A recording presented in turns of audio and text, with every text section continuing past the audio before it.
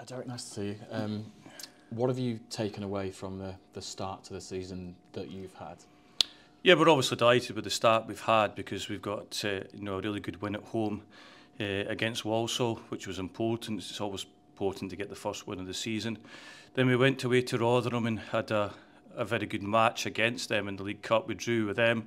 They eventually won on penalty kicks, and then on Saturday we found it a wee bit more difficult. We knew that because Mansfield are a a really good side in this division, and uh, they were better than us in the day. What do you have to improve then from the from the weekend going forward?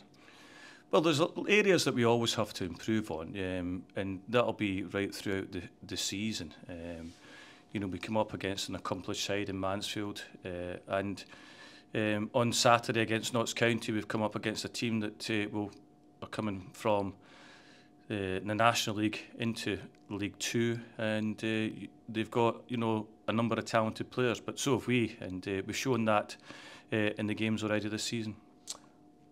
Is there an allowance, an expectation perhaps for a period of adaptation for these players because it's almost a new team, isn't it, Derek?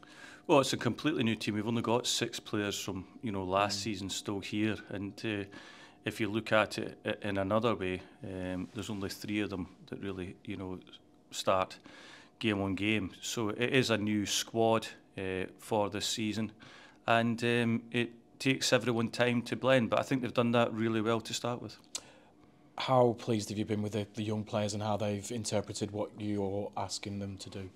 Yeah, I mean it's great for a young player to come in and you know come into this environment because um, coming from a Premier League club or Championship club or another League One club, uh, you know, everyone's different. Everyone coaches in a different way, talks in a different way, uh, and the environments are totally different as well. So um, it's great for them to see a, a different perspective, and that's why they've come here on loan, either to get, you know, first team football to improve.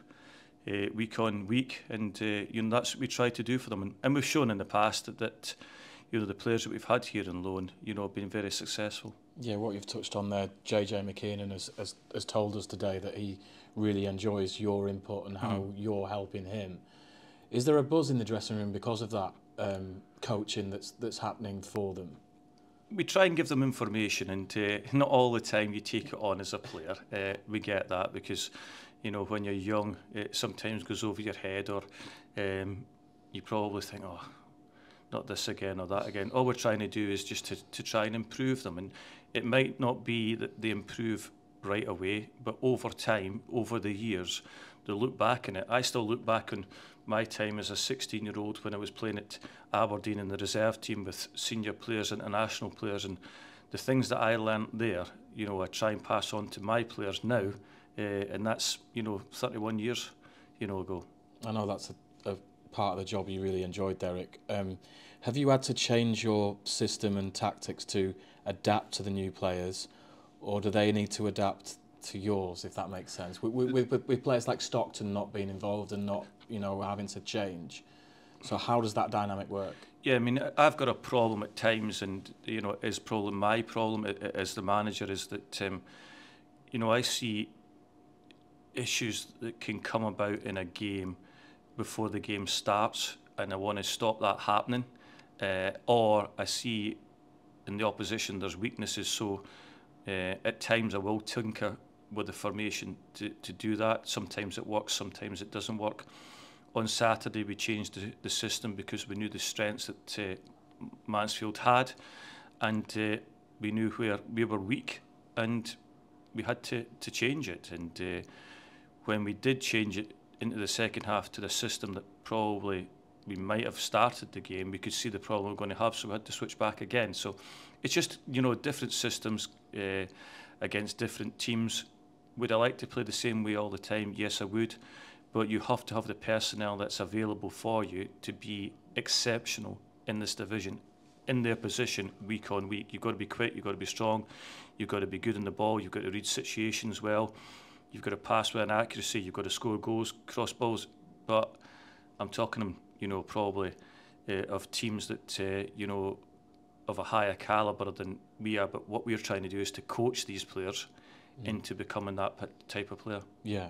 Um, do you want more additions, or is there a case where you might have too many cooks spoiling the broth, so to speak? No, we've got 20 players at this moment in time. We look to add two more, uh, so two more uh, to come in, uh, defensive uh, and you know a striker as well.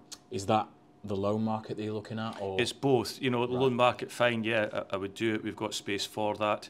Uh, we can take another two and to add to five, but um, it doesn't have to just be the loan market. okay? Um, are you uh, confident, optimistic about the future of the football club with everything that's happened in the the last year off off the field? Is there enough communication for you from the top down, or how how do you feel about everything at the moment? Yeah, I mean, the owner has uh, been in contact with me before the first game of the season, and um, you know, I think that um, he obviously wants something to happen sooner rather than later. You know, for his uh, good as well as uh, the club's good. So, uh, in the background, he's working away uh, on a solution uh, for the football club to be sold. Uh, until that happens, then you know we work as we are. Are you eager for that to happen, or do you not think about it that much? Um, that can be difficult at times because you know if a new owner comes in, then they might have um, a lot more money uh, to give us, uh, and, and that's what happens at football clubs nowadays. It's it's it's not generated through season tickets. It's not generated through commercial. It, it, it needs to be donated or put in as shares uh, by uh, a wealthy owner because you can see with the, the rest of the clubs that are doing it, um, then it enables them to, to get in uh, extra players. Mm -hmm. uh, and, uh, you know, you then go into a different market. That's a possibility. Or that somebody comes in and uh, does exactly what the owner here has been doing, you know, for years is is working to a sustainable uh, budget that can uh, keep the club alive. Yeah. All that obviously to come in the future, and we hope it's resolved soon. Uh, your focus is on Notts County. What, what, what do you expect from them? A, a, a strange old start. They they lost five one on at Yeah. Sutton, and then they beat Grimsby at the weekend with your old player Dan Crowley getting the he got the winning goal, I think, didn't he? He did, yeah. I mean, I think that you know they are a team that play in different styles and different systems uh, during the season. They've already done that at the start of this season. They're obviously trying to get the right blend uh, with the players that they've taken in. They've taken in, you know, a good calibre of player uh, over uh, the summer. You only have to look at McGoldrick coming in from from Derby to suggest that is true. And um, you know, we're looking forward to, to playing against them. We're at home. We've got a very good home record, uh, and we need to obviously improve our away record. Yeah, uh, just finally, Derek, uh, injury situation. Uh, Charlie Brown missed. Yeah, he's fit now. He blocked a, a cross in the Rotherham game that twisted his ankle, so that's the reason that he missed out. But uh, everyone is fit going into this game.